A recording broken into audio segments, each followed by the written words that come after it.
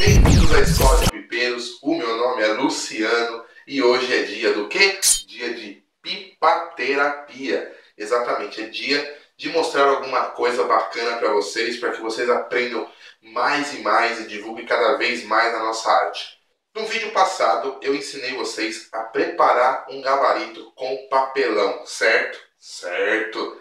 Hoje, esse gabarito está aqui, eu já fiz vários gabaritos, joguei todos meus gabaritos de madeira fora, fiquei só com um, porque eu não achei o papelão que eu queria para fazer uma, um, um, gabarito maior. Mas o gabarito que eu ensinei vocês fazer, tá? De papelão. Então, já me perguntaram no outro vídeo se eu não tinha como fazer um vídeo mostrando como utilizar é, esse gabarito fazendo as armações. É claro que está na sequência dos vídeos para fazer o gabarito, para mostrar. Eu não ia só fazer o gabarito e deixar lá para ninguém ver. Não, eu fiz o gabarito e vou mostrar como uso o gabarito e como ele realmente é 100% utilizável durante toda a sua temporada. Aí você pode guardar ele se você fizer bem feito, sem pressa, sem correria, você vai ter esse gabarito por muito tempo, tá? Então hoje o vídeo é exatamente sobre isso, como usar esse gabarito com a sua armação. Então vocês vão ver que ele é 100% funcional. Então antes de começar, eu peço para você, inscreva-se no canal, seja muito bem-vindo, deixe o seu like aí bonito nesse vídeo.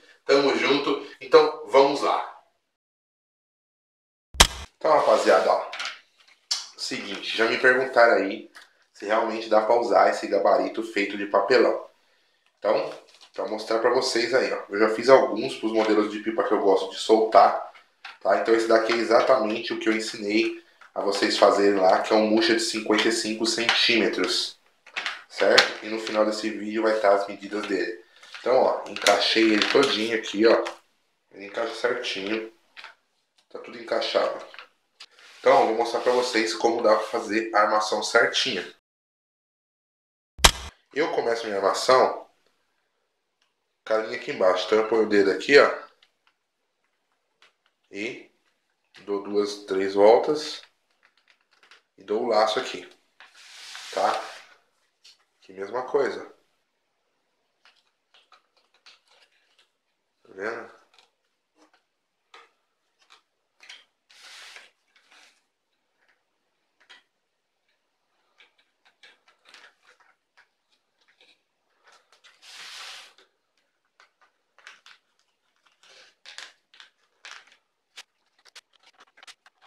Certo? Tá aí, ó. Tá pronta a armação. Tô tirando aqui, ó.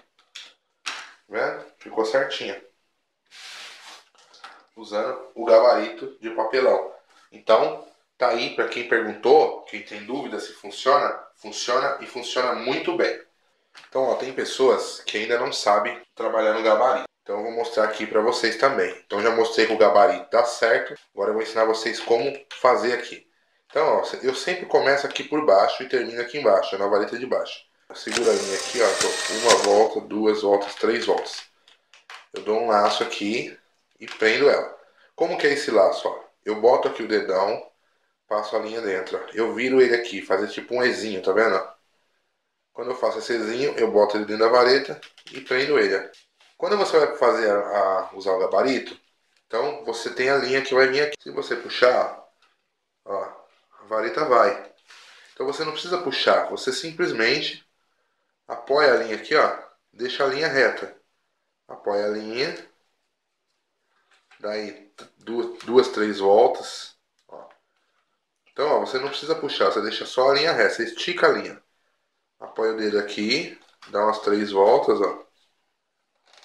Tá, de novo, ó, lacinho, ó, virei, segurei ele, ó, e passei dentro e travei tá? E você vai vindo aqui, ó, que mesma coisa, sem esticar. Se eu puxar, a linha venha. Então você não precisa puxar, você só estica a linha.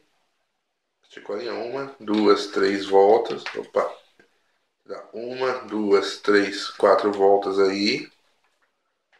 E dá o lacinho de novo, ó. O lacinho em câmera lenta aí, ó.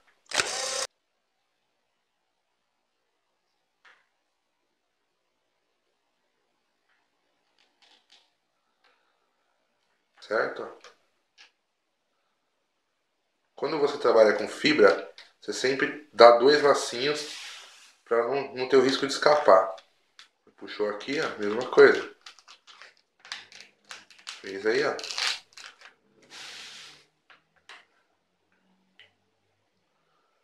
De novo, ó.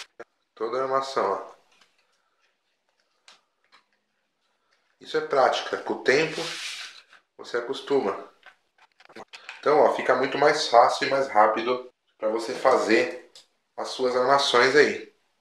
E, e prático por causa do gabarito com o papelão. Então, o papelão você vai achar em qualquer lugar. Fez a sua cruzeta, você vai usar o gabarito para passar a linha. Facinho. Tá? Então, qualquer dúvida, deixa nos comentários. Espero que vocês tenham gostado de mais essa dica da Escola de Pipeiros. É nóis.